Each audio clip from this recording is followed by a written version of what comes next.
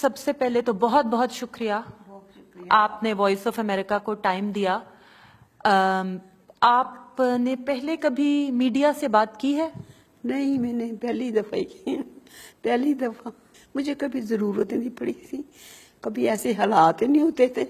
ساری زندگی کبھی ایسے حالات نہیں دیکھے۔ یہ بتائیے کہ آپ کو یہ علم ہے کہ کل جب وہ لاہور سے ہی ان کو جیل لے جایا جائے اس بارے میں آپ کا کیا خیال ہے؟ جیل میں لے جایا جائے تو لے جائیں لیکن میں ساتھ جاؤں۔ لیکن میں ساتھ جاؤں گی۔ پھر پھر جیل میں نواز نواز صاحب ہیں صفدر ہیں مریم ہیں۔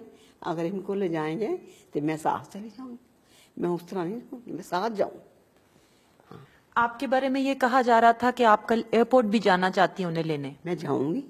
ہاں چاہے مجھے تکلیف بھی ہے ان لوگوں نے جن لوگوں نے مجھے پریشان کر دیا اپنے بچوں کی وجہ سے کہ میں ایسے ہوتی ہوں جیسے بیمار ہوں۔ لیکن میں جاؤں گی ساتھ میں جاؤں گی۔ اب میں آگے کیا کیا کہہ سکتی ہوں؟ کوئی یہ لوگ بس پیچھے پڑ گئے اس کے۔ ایک نواز ہی رہ گئے ان لوگوں کو پیچھے پڑنے میں۔ وہ برداشت نہیں کر سکے۔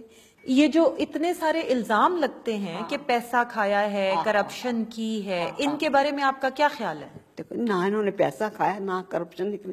جب یہ پہلی پہلے پہلے جب یہ ایک دفعہ وزیر اعظم بنتا رہا نا تو ان کے تھے باپ نے کبھی ادھر ادھر کا سرکاری کھانا نہیں کھانے تھے۔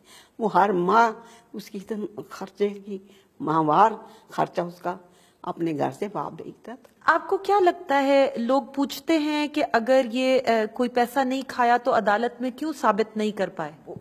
وہ وہ جن جو دشمن لگے ہوں گے پیچھے الزام لگانے کے لیے یہ جھوٹے الزام لگ رہے ہیں؟ پھر اگر جو- پھر پھر ثابت کیوں نہیں ہوتے؟ یہ جھوٹے لگا رہے ہیں؟ اچھا کلثوم نواز صاحبہ سے کیسے تعلقات ہیں نواز شریف صاحب؟ بہت اچھے بہت اچھے بہت اچھے۔ کبھی جھگڑے نہیں ہوئے اور بی- بیوی بھی فرما بردار تھی اور خامد بھی نیک تھا۔ ہر بات کو پورا کرنے والا تھا۔ بہت بہت شکریہ آپ کی بڑی مہربانی بہت شکریہ بہت شکریہ آپ کا۔